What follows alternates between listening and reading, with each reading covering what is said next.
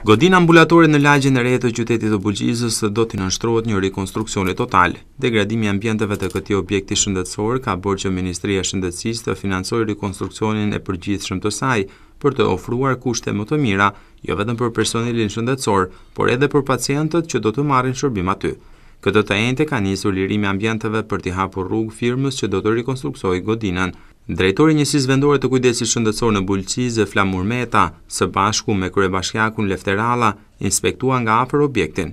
Meta tha se puna do të nisë menjëherë sapo të zhvendoset baza materiale e ambulancës në ambient tjetër. Ministria e Shëndetësisë, në kuadër të rikonstruksionit të qendrave në shkallë republike, ka miratuar për vitin Dy mijë e njëzet dhe rikonstruksionin e këtij objekti, pra që është ambulanca e Qendrës Shëndetësore Qytet, në Bulqizë, e cila është miratuar për rikonstruksion total për këtë vit. Dhe ne tani po bëjmë përgatitjet për të liruar ambientin, për të siguruar shërbimin në një ambient tjetër, pasi së shpejti do të fillojnë punimet. Është e vetmja ambulancë në rrethin e Bulqizës që punon me mjek.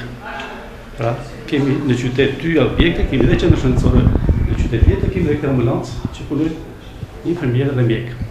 Me fjalë qendra shëndetësore e Bulqizës ka edhe rreth 12.000 pacientë, në lagjen e qytetit të ri janë rreth 6.000. Në këtë ambulancë marrin shërbim rreth 6.000 qytetarë të lagjes së re të Bulqizës.